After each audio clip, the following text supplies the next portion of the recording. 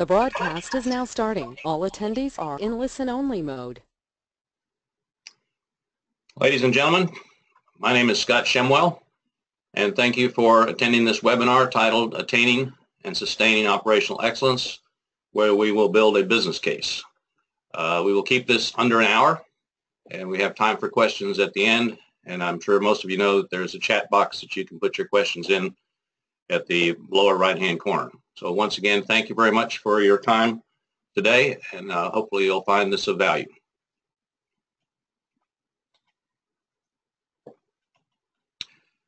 Before we start, just a little brief um, introduction to my company, the Rapid Response Institute, and myself. The Rapid Response Institute has been around for several years under different names. It's a management consulting company, and we really help our clients focus on areas of uncertainty and capitalize on organizational agility, resiliency, and sustainability. My background is largely upstream oil and gas from the energy services perspective. Uh, I was a senior executive at Halliburton, later with Oracle. I was early and had early involvement with the digital oil field of the future, which this is an extension of, and been involved in technology sales to the oil and gas industry for over 30 years. Um, by way of disclaimer, information we're presenting today uh, does contain some third-party information, uh, and uh, leave it to you to make the judgments on the value of that information. All third-party information is cited, and you will be provided with a copy of this document at the end, both in the form of the recording and the slides themselves, and you can look at the information yourself. For those of you that are not in the United States, and we do have some folks from Australia with us today, the material you see is largely has a United States focus, but most of the processes, the safety issues, and even the regulations are very similar on a global basis. So to start with today, we'll talk a little bit about what is operational excellence. If you Google it, you'll find quite a bit of information on it, but often doesn't get adequately defined. We'll look at the characteristics of the operational excellence, how to attain it, what happens if you don't, Uh, a brief value proposition. We'll show some of the technology that we have developed to help our clients do this. And finally, with any transition like this, there's a change management process, and we'll summarize this with some final thoughts. As part of the technology, I will show you a brief overview of our OARS 360 platform. So let's start by defining operational excellence. This definition comes from the Society of Petroleum Engineers, and it's a methodology to help organizations grow and sustain operational standards in today's environment, which includes government regulations, consumer requirements, communities, and NGO or non-government organization expectations. Uh, I think as most of you know, the oil and gas industry, the energy industry in general, is under a lot of pressure to be cleaner from an environmental perspective and be safer. Uh, and I think that all of those are attainable and part of the operational excellence issue. So what are the criteria for operational excellence? If we've defined it, how do we get there? This slide is taken from Bain, and this is cited as well. Um, the six criteria that are required to attain operational excellence. Top quartile asset performance. When we talk about assets, we're talking about the balance sheet of an organization. Those revenue producing assets, whether it's uh, reserves for an operator, a fleet of ships, a fleet of trucks. You've got to be in the top quartile of your environment. When we say immaculate reputation, you've got to be the gold standards. We all know companies that when they come to mind, they're the gold standards, they're the, the, way we want to be. We also know organizations, when we hear their name, we think they're not necessarily at the top of their game. Distinctive capabilities, our competitive advantage. And part when we say capabilities, we're not just inside the firewall of the organization, but the entire supply chain or the ecosystem that the organization has. we have to have a high performance uh, culture. You've probably at this point heard about high reliability and the need to operate at the top of our game. The culture of the organization and the culture of the suppliers as part of that ecosystem has to be one of high performance. Goes without saying. Excuse me world-class health and safety systems. Uh, safety, there's a safety dividend, not only uh, the reduction in unplanned downtime but the legal issues with um, injury and loss of life, regulatory issues, and even, even losing the license to operate. Best-in-class processes and systems. Uh, those of you that are in information technology field, we say systems, IT systems are what come to mind quickly. But this is processes and management systems as well. The IT systems support best-in-class processes and management systems. Um, without these six criteria, you really can't say that you've obtained operational excellence. So not all of us are at that stage. This matrix is also from the Bain Company. It's in the same paper. And as you see, there are four different quadrants, all the way from best in class, leading, uh, to something where we've really got to do something about it. Underperforming, and we've all been in an organization where one individual or a small group of individuals is carrying the water and doing all the heavy lifting, and the organization really does not come to, to bear on it. You also see little uh, different colored um, ovals for the different types of assets. So if you got an oil field asset in um, Australia, one in the Gulf of Mexico, and one in the UK, there's three different assets. And not all processes with all assets in any organization, particularly a large one or one that's undergone some merger and acquisition recently, are going to have um, all assets performing in that best of class. Not that they shouldn't, but you do have some that you've really got to fix, do something about it, some underperformers that you can fix, and then the unsustainable ones where you've got a few people trying to get there and the organization by and large does not really care.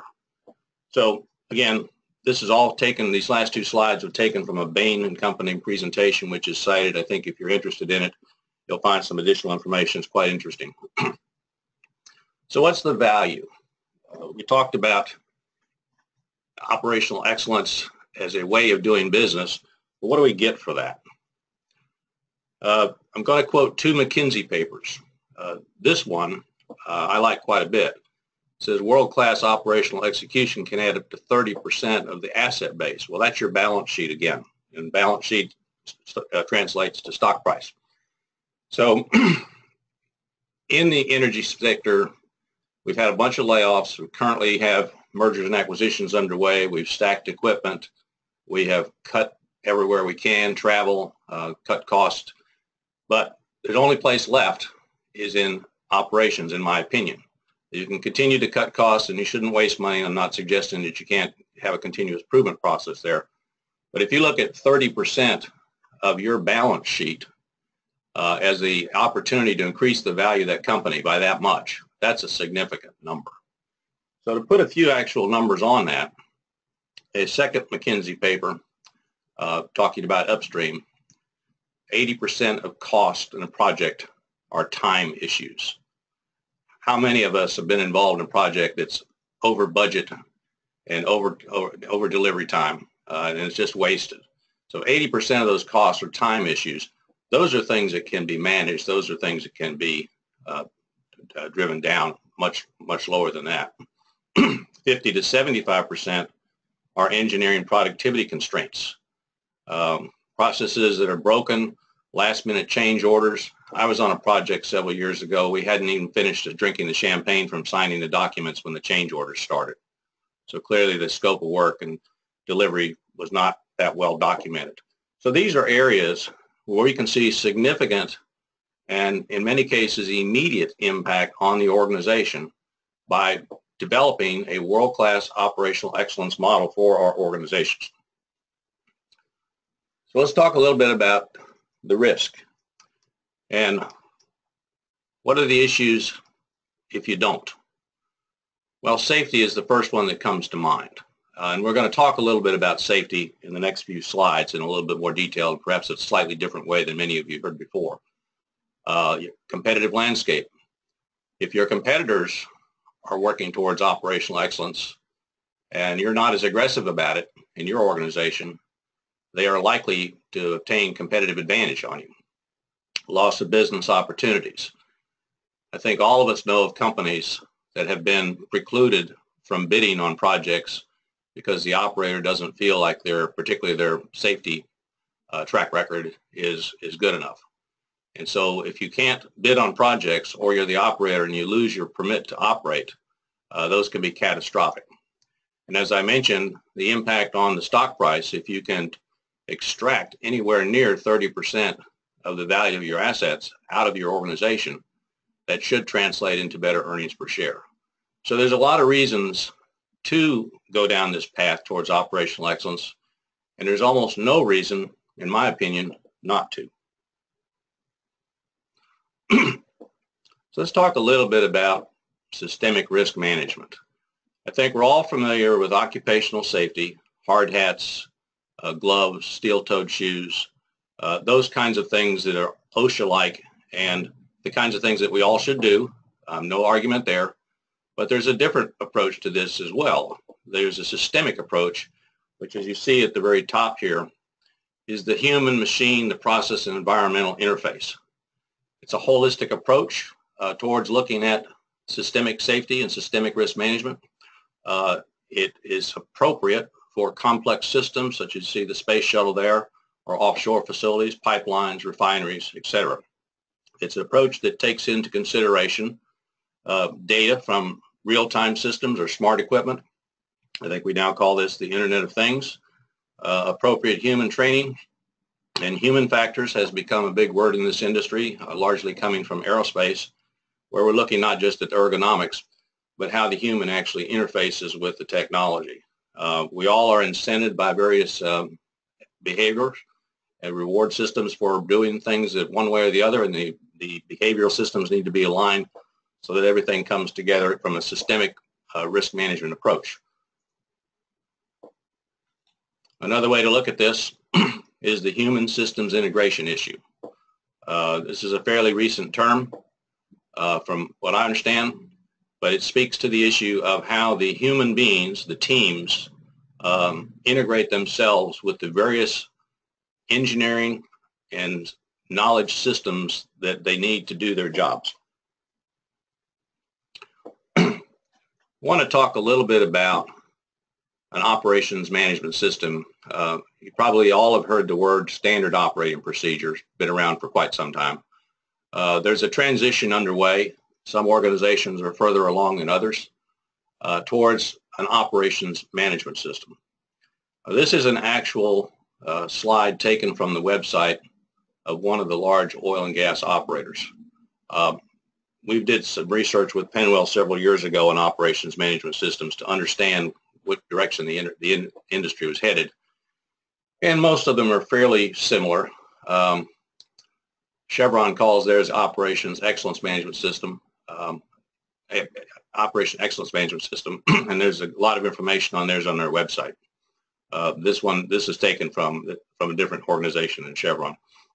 If you look at the eight issues, leadership is first, organization, risk management, process and procedure, management of the assets, optimization of those assets, privilege to operate, uh, and I'll come back to that in a minute, and of course results. If you can't measure it, how can you manage it?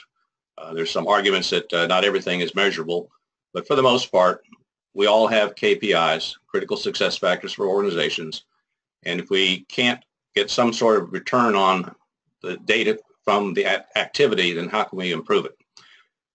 In terms of the privilege to operate, um, the U.S. government is getting very aggressive about safety in federal waters through BSEE. And they have suspended the right to operate of organizations. Well, if you can't operate, that's your revenue stream. Uh, you'll be out of business pretty quickly. But leadership, of course, is, is job one. Everything starts from the top, and not just from the office of the CEO, but from the, the shift supervisor, the team leader. Leadership is across the board and deep into the organization and across the supply chain ecosystem as well. Uh, we talked a little bit about risk management, and we're going to talk some more about processes and how to drive those. But this is a typical operations management system. If you haven't heard this term, uh, you will. And this way most organizations are running their, their business these days, and they expect their suppliers to participate in this as well, and we'll talk about that in just a second. When we talk about an operations management system, there's a lot of words being tossed around. Uh, you'll see websites. Uh, if you go out to look at most large organizations, they will have something about their operations management system on their website. And if you read it, it reads like a policy, which indeed it is. Um, and probably it's not appropriate to go deeper than that on a public website. But it's more than just a website. It's more than just a policy. You see a lot of checklists. Uh, some of that's coming out of aerospace. We have done some checklists. In fact, um, several years ago, we put together a really nice checklist. We quickly discovered no one in the field would use it because what we were asking them to do is do the checklist on top of their day job.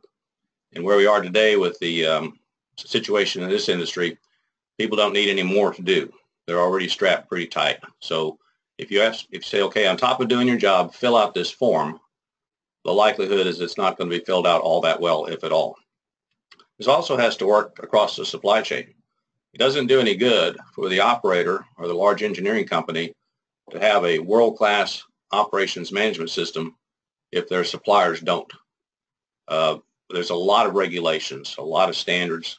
Um, these need to be baked into the workflow. If you're asking someone to do their job and, oh, by the way, make sure you're in compliance with this regulation, that's going to be a real challenge. So what we've done is we've built a system that starts with policy, builds on industry standards, the skills, the knowledge, skills, and abilities that individuals must have, tools, which are everything from a wrench to a piece of software. Upon this core foundation, the processes break down all the way down to the subtask. Now you see in the middle here the term relationship. Most of you know that 90% of the field personnel are contractors. The oil and gas companies do not do the actual work in many cases. They have contractors and subcontractors and subcontractors do the work. So you see over here in this diagram that there's a lot of different players out there, different companies, partners on projects, uh, competitors from a standpoint of the various uh, suppliers will work on the same project together doing different things. So the approach to risk management, as I mentioned, can no longer be high, low, medium, or high, medium, and low.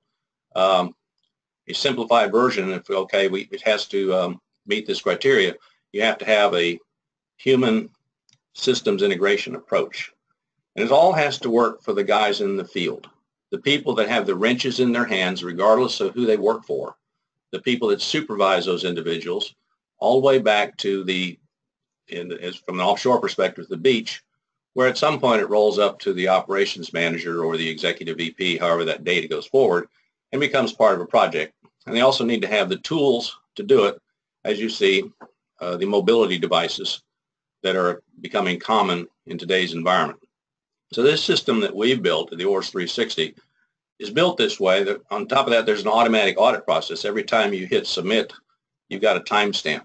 Uh, and what we've seen with customers, both from a standpoint of the suppliers as well as the operators, they both like it.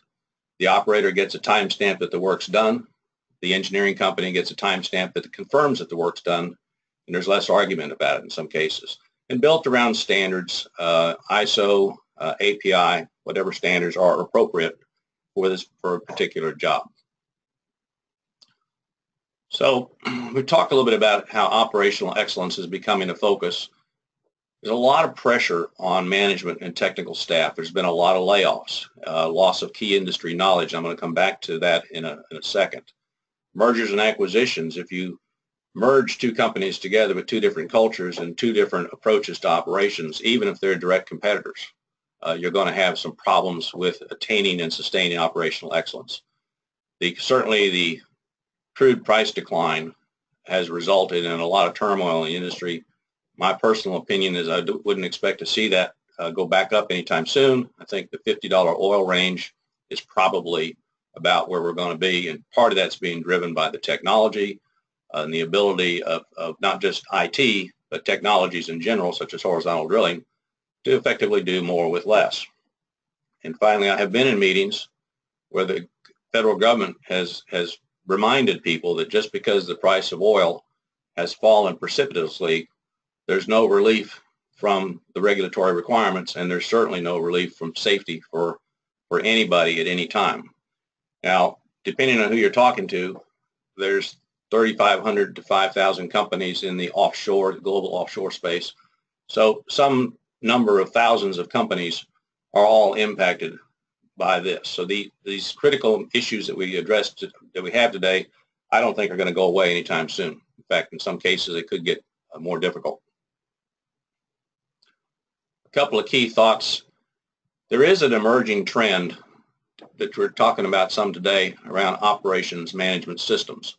Uh, likewise, uh, some of the regulations such as the um, American Petroleum Institute recommended practices number 75, which is all about offshore operations. There's an update coming that work groups in place right now. Uh, one of the chapters that'll be uh, new is contractor management, which we've talked some about and we'll talk a little bit more about, uh, as well as cybersecurity. Uh, critical systems depend on information technology, remote, remote management communications today, and are very exposed. Technology continues, particularly water management. I don't see mergers and acquisitions abating. But last year, there was investment in big data to the tune of over $115 million by 20 different uh, venture capitalist deals. So there is investment being made.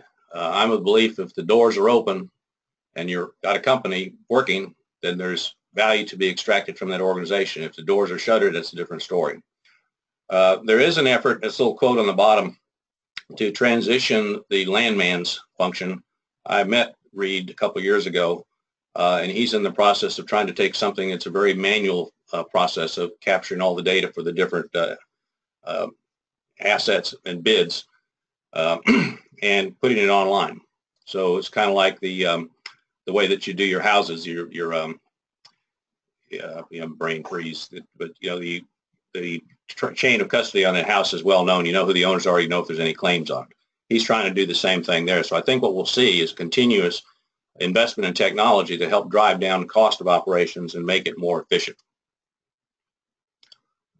So I'm going to talk a little bit about enabling technology. Um, clearly, we have a commercial product, uh, and so that's what I'm most familiar with. There are some out there that do some of what we do. Uh, we are of the opinion that we're fairly unique, but every every organization feels that way. So we spun out OARS 360 uh, in 2015. It's an operations management system. We initially enabled it with the SEMS regulations. Now we did this because we worked with one of the super independents who uh, worked with us and, and, showed us how their well construction interface document goes into how they do it, and we put that into the system. It's built around a culture of safety mentality, and clearly it's cloud mobility device. As you see, it is available as an app as well as a, a back office uh, system and desktop.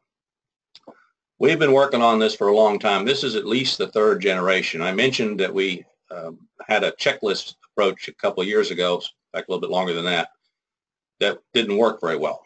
So we've made some mistakes getting here. Uh, I think we've learned from them, and we know what customers don't want. And this product has been out now for about 18 months, and we know a lot about what they like about it and where they've asked us to enhance it. We have that underway.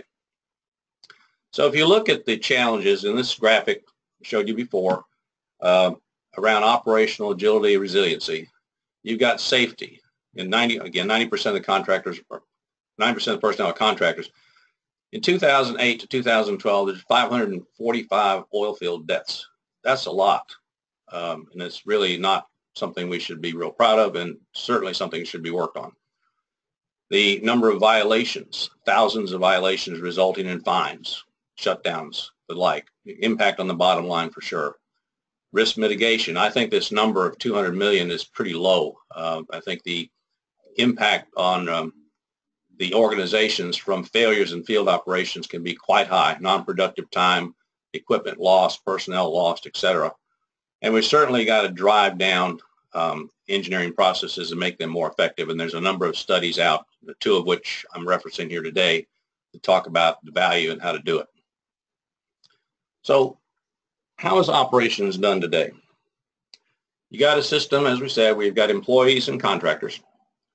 The employees are behind an IT firewall, and they can take full advantage of the ERP systems, asset management systems, maintenance systems, whatever. Uh, the contractors don't. And while some of your premier contractors may have some access, uh, you, it's correct that they're outside the firewall because they are doing a different job and don't have access to the same information. And certainly in this ERP system with your core financials uh, for publicly traded companies, that's very valuable and insider information needs to be protected. So rightfully so, they're outside the firewall. Spreadsheets are still used extensively, uh, have been, and, and every evidence is that they continue to be. And you can't manage spreadsheets. You can't manage them internally, and you certainly can't manage them externally. So the end result with uh, field data in silos, a lot of manual reporting, limited actionable information, and lack of visibility in any kind of meaningful real time. I know of one large oil company who, for their operations management system, has four different software packages, none of which communicate with each other. So this problem is not just with smaller companies, it is with the larger ones as well. But you can imagine that in today's environment, your subcontractors and their subcontractors are really struggling to manage these processes in a cost-effective way. So the value proposition that we believe OARS brings to the party is that we bridge that gap. We interface back with the, the, tools. We take information from them for the project. When the project is finished, it gets posted back through the firewall to where asset management systems, ERP, wherever it needs to go. Uh, but in the meantime, you've got field operations and it's very similar in the old days. Uh, many of you may recall when you would send drawings to your contractors so they could do their work by DHL.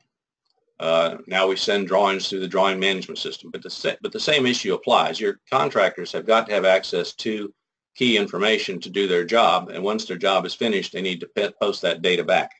And as I mentioned, an audit history what we've seen is customers really like that because it enables that to take place automatically and reports can automatically be built from that.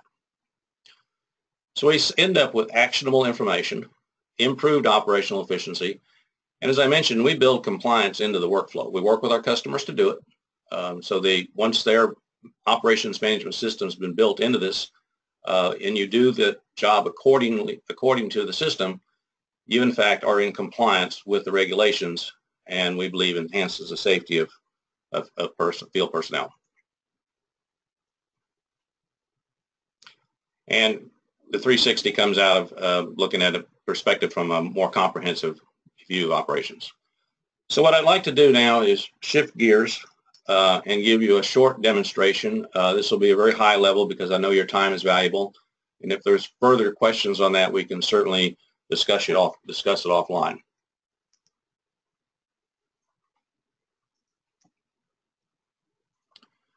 So this is our, our OARS 360 site. Uh, you'll see we've got a dashboard where you can um, see the various status on key metrics and things going. And what you're looking at is a demo site, so there's very little in here.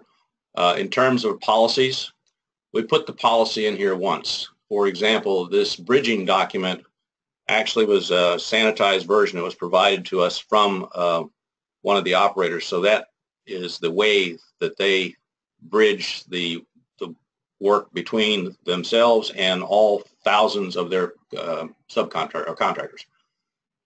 Projects are identified, uh, and we'll skip over here to job procedures. So in this case of job procedure, which you start to get, you recall during that little drawing I had, we went from big processes down to subtasks. As we go through this, these are identified. And you'll see here there's a lot of information that can be added into it. And down here, where we've got a series of activities, you see in, in this case, this activity is finished. So as it's done, you get a timestamp it's, when it's finished, so the automatic audit is taken care of. The other thing we do um, is we, sorry, let me go backwards here. You'll see these other uh, tests were put together once you put the policies and procedures in there and you load up another example and say we're going to do a, another blowout preventer repair, all these policies and procedures come with it. So you see they're automatically in here and I'll show you how we build the workflows in just a second. But once you've got the workflow and the policies and procedures and the documents in there, it's a one-time input. And then every time that particular type of process is initiated, this these standard operating procedures are populated. And as you say, as we said, if you go through this process, you'll see that it's all been recorded. So let me go over here to um,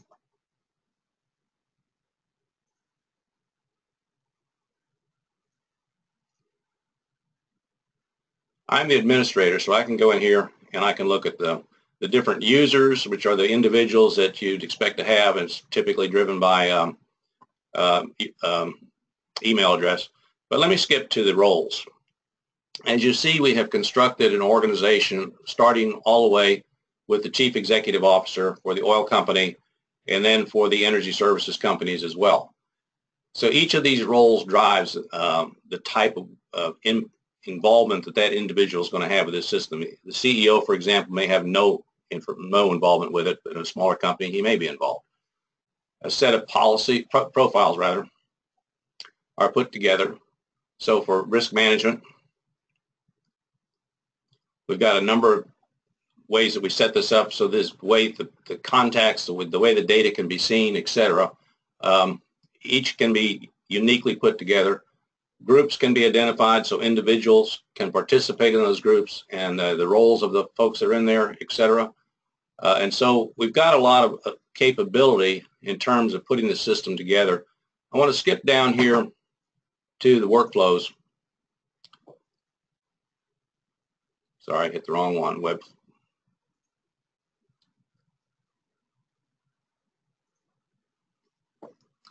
You'll see we've got a number of workflows, everything from an email uh, to the actual blowout work, uh, work itself. And you'll see that we've input a number of tasks. And inside each of these tasks, oops, that one's empty. Inside each of these tasks, and I think I think some of these are populated. Oop, I guess not. I picked the wrong blowout preventer. Inside each of these tasks are the steps that you saw in that um, job function back here.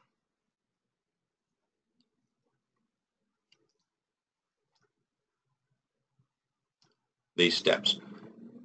Now you see that there's a document associated with this. This is actually uh, the user's manual for a, for a particular blowout preventer. Again, that data is put into the system once through documents. And we can capture the different types of, and you saw the, the bridging document earlier as part of the policy. All these are captured once and as a change, you can update it. And if you have, say, a version 1.1 comes out of this, you can retain the old version for those projects that it was associated with and use the new, new version for the projects that it's associated with. Um, a number of products, for example, uh, in this case, an FPSO is a piece of equipment. When you put a serial number on it, it becomes an asset. So if you're a service company or a marine company, you can capture your assets this way. We also have the ability to generate automatic barcodes uh, so that we can then read the piece of equipment with the smartphone and it tracks immediately back to the asset that's listed in OARS. Uh, number of other issues we can put in the different organizations. Uh, in this case, we've got my company, but if you've got, uh, say, the service companies and engineering companies and product companies, you can do all that. So I wanted to give you just a brief overview. The real focus here for this is to get these different job processes done and make sure that all of the information associated with doing that is available to the individual with the wrench standing there on the facility, his supervisor, uh, and then when it's finished, it is he documents that I have finished it by hitting the submit button, and it's automatically audited. The um, we can set this up so that a senior person can just say, look, I'll take all 10 steps and I trust you that you can do them, that you did it. Or a more junior person, might you might want them to go through each step and that can be configured by the user. So let me go back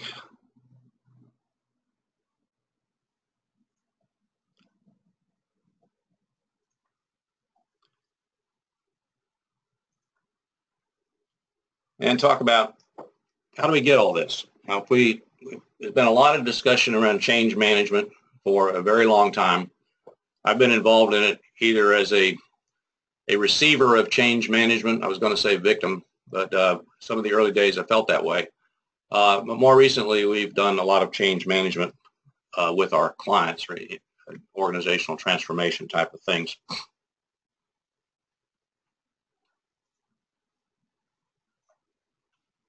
So the argument goes, people resist change. We hear that all the time. I don't want to change. Um, we'll just wait and see what happens when we go back. Once the guys leave, we'll go back the way we're doing it. Uh, I think most of you don't even know what that black phone is. Um, I've been using this slide for a while, and I went, actually went out and bought one of these phones to take to when I do these things in person. I forgot how big and heavy they were. But we all have moved towards these uh, smarter telephones uh, for a lot of reason. It's a lot more um, useful. Uh, we're not tied to a wall with a cord. Um, many of you may know that Lotus 123 was the the applications, the so-called killer app that launched the PCs in the 80s because the accountants uh, could use their to do their the work. Um, this Lotus 123 has been supplanted by um, Excel, I guess. I think it's still out there, and I believe IBM owns it, but I'm not sure. Other things change. The social mores change, uh, at least in the States, and I think pretty much everywhere these days. Drinking and driving is not acceptable anymore. Used to be, I'm here in Texas, you could go into the 7-Eleven, buy a can of beer, and they would put it in a little brown bag, and people would drink their beers on the way home. And I'm sure no one knew what was going on because we all had them. Um, so there's penalties associated with that now. In terms of the seat belts, uh, more of a carrot because if you are in an accident, the seat belt very likely could save your life or prevent injury. So people do change. Uh, a carrot and a stick. Uh, the carrot is in the phones. Uh, the stick perhaps is in the, um, the, the alcohol and operating heavy equipment. Not anymore. Uh, so people do change, but they change when they're given a reason. And I think that the the argument that people don't change uh, is a fallacious one, because I've seen people into their 70s and 80s that have made transitions to using technology such as PCs and smartphones and and the like, when certainly uh, and this was several years ago. Uh, and certainly they weren't raised with the technology, but once they found out how to, to use it and the value that it got, such as getting pictures from grandchildren, uh, they used it.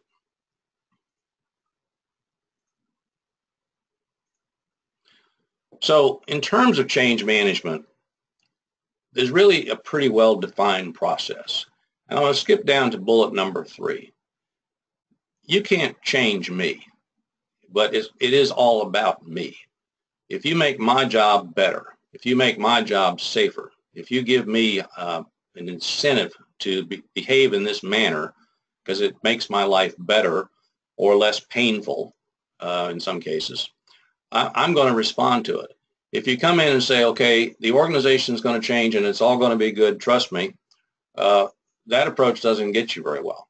But it's a three-step process. You've got to go through the initial process. You've got to get your act together, staged. Uh, a large organization is probably not going to go through a change management process in a week. It's going to go through a, very, a number of steps.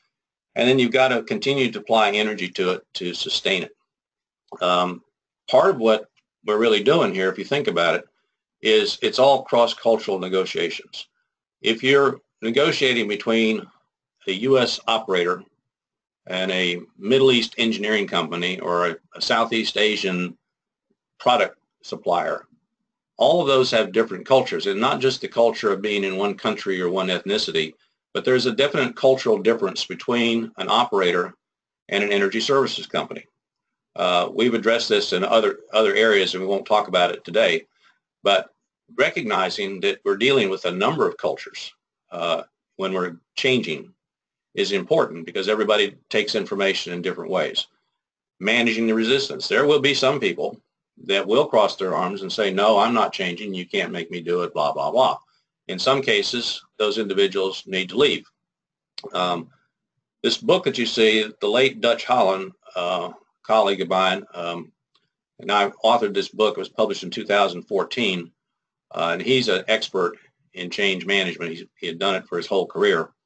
Uh, and part of the reason that that book is written as opposed to a generic um, change management book is back to bullet number three. If I'm on an offshore platform, I want to see how it works for me, not how the the Navy does it or not the nuclear power industry does it or even the guys in the refinery do it. I want it to be relevant to me. And I'm a firm believer that if you make it all about me, my value, uh, make my life better or make my life less worse in some case, it's um, that's where you're going to see the change uh, adapted. So moving towards this, this is, like I said, it's an iterative process. We, we're, we're here where we are doing business the way we're doing it. Uh, we're going to go through an iterative process through a number of changes, uh, pilots after you've generated awareness and education, and then the widespread integration. And the energy has to remain applied. You can't just say, okay, we've got changed and we're done, uh, so we don't have to do it anymore. Uh, that's the old way of doing it. The consultants show up, they do the change management, and then they take off. That doesn't work. Um, people fall back to the old ways of doing it. I know it's not physically correct, but I, I like to, as my bachelor degree is in physics, and I like to use the example, if you apply energy to an electron, it's going to jump to a higher orbit in the atom. As soon as you take that energy away, it's going to come back to its, its stable state. You've got to continue to apply that energy. Now, there's a lot of information available, and I just uh, made a statement about it's all about me and it's got to look like me. There is external um, good practices available from a wide range of subjects. The, a lot of the safety culture uh, that we're seeing right now has its roots in the nuclear power industry and Three Mile Island. The uh, culture of safety concept came out of that. So while there's differences in that, and I was actually in Vienna last year uh, at the Atomic Energy Agency talking about safety cultures and comparing what we were doing in the oil and gas with what the nuclear is doing. There's a lot of good data in places like that it does have to be tailored to meet the need of the organization that you're in and the sector that you're in. There's a lot of uh, good inside industry data as well that people have done, but also a large super major and a super independent and an independent and an engineering company are not the same. And the processes and procedures that work in one may not work in another. So you've got to be cognizant of that. The other thing that you need to do as part of this change management process is train your people. Uh, we're, we're seeing issues like right now, right now where it's very difficult to, uh, to spend the money on training. There's a lot of concern that the knowledge is leaving the industry and there's no way to capture it. And I'll come back to that in a minute. But you really have to make sure that your workforce is competent. Uh, and again, back to this right to get the job or, or uh, permit to operate. If you don't meet certain training standards these days, you're not going to be hired. So you've got to have all that. It's got to be a commitment. You've got to demonstrate it. So this whole process of changing towards one of safety and operational excellence requires a great deal of energy. Uh, and as I argued earlier, the risks of not doing it are greater than the risks of doing it. So this is the new way that we do business. So some final thoughts. Um, not going to operational excellence is not an option. Uh, I think that's worded incorrectly. You have to do it these days, uh, but you've got to know what operational excellence is and what it means to your organization. I believe we can document shareholder value. Uh, there's also no reason not to. Uh, there's best practices available. There's a lot of information out there. There's a lot of knowledge. Um, the two papers that I, three papers that I cited uh, I think in those three papers alone, there's a lot of information. And the technology enablers are there. We've looked at one. We are working with a um, an independent operator right now to take our economic value proposition matrix model, many of you may be familiar with that, and document it, uh, use it to put a financial perspective on the value of operational excellence. Once that's available, we'll probably have another webinar. I hope to have it done by the end of November um, we'll have another webinar, and at the very least, I'll send you links to a website. One of the things that we've been doing, and I know there are a couple of you on the on the call today, is we started working with a group of very senior drilling engineers, in some cases retired. And this relatively small group of individuals, I think it's something less than 10, um, have a tremendous amount of knowledge. And in discussions with them, uh, we're in the process of taking that knowledge, we're going to put it into our OARS 360 platform. But once it's the knowledge is in the form of a workflow, then it is something people can actually use. One of the challenges that I've seen with knowledge management is we tend to think of it from a standpoint of information technology and that there's a lot of um, IT components to it and becomes more of a database and then in some cases you can't find stuff. Uh, but getting that knowledge out in the form that someone can actually use it has been a tough deal. Um, in fact, yesterday I was on a conference call with um, one of the leading experts in human factors who's up in Ohio, uh, and she's involved in aerospace. In fact, she's doing a project right now uh, for the medical community, looking at how they use human factors in that process, which is of interest to all of us. And um, she's agreed to work with us to start to take some of the work processes that she's developed over her career and put them into um, OARS 360. So it seems to me, and we're just beginning to touch on this, that taking the knowledge that the or, that organization and individuals in particular have uh, as they're leaving the workforce and the big concern about the big crew changes, the brain drain and all that expertise and experience leaving is to capture that in the form of a workflow that then can be used in a tool such as our, our OARS 360 that enable people that don't have the, the experience to capture or lean on the value of those that do. Uh, so I'm not entirely sure how successful we will be with this at this point. We're just starting it, but it has a lot of uh, a lot of reasons to believe that this is a pretty good way to use some of these tools so that um, operation operational excellence uh, can become part of the equation in a lot of different companies. So this this is basically what I had to say today. In terms of the references cited, um, these are all linked as you see. The Society of Petroleum Engineering definition of operational excellence. Um, you agree or disagree, but one of the things that we really have to do is define it. If we don't know what we're trying to get to, we can't do it. The Bain report uh, is a pretty good one, and there's a lot of information in there if you're so inclined. There are two McKinsey papers. Um, one's on operational excellence, and it's uh, a little bit older, but the points that they make are still very relevant. And one that was released in 2015 is a McKinsey paper, and that's where the numbers of the value of um, that can be realized by managing offshore projects more effectively. Finally, we've done a lot of work in this area. Those of you that know me know that I've published a fair number of books. They are all of them available on Amazon, I believe. We publish a biweekly um, blog with PennEnergy on governing energy where we cover examples like this. There's a number number of monographs and other information out there uh, and links to the web the data on the on the website. Um, so this is an area where we've spent a fair amount of time in over the years, and um, you think it's um, obviously right now, as, as I said, if you Google operational excellence, you will come up with a very large number of hits. But as I looked at it, I said, and part of the reason for putting this webinar together was, okay, what is it and how do I get one? So here's my contact information. Um, you will get a, a, a, copy of this deck as well as the uh, access to the, the recorded version. And uh, thank you for your time. We've got a few minutes for questions if there are any, and you can type them into the box below.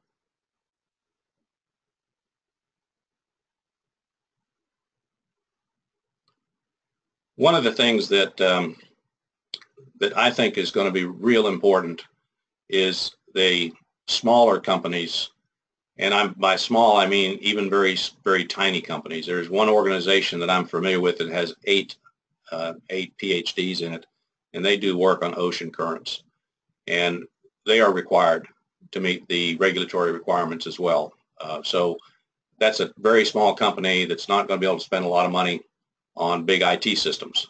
So you know systems that facilitate that I think are, are going to be in vogue, and that's where they, we're headed, I believe, with the tablet and mobility enabled systems.